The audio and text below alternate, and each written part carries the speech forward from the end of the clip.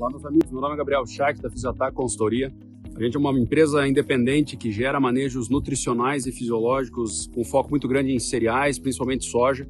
E fica aqui um convite para você estar tá participando de um curso que foi gerado de forma completamente independente e aqui está sendo oferecido a você por intermédio da plataforma AgroLink a respeito de função fisiológica de nutrientes, como é que eu identifico boas oportunidades de manejo tanto para fertilizantes via solo, semente e folha. Você vai entender como é que a gente explora os determinados nutrientes, seja ele macro ou micronutrientes, na definição dos manejos e como a gente correlaciona isso para buscar as melhores respostas agronômicas. Então, fica o convite, clica no link que está na descrição.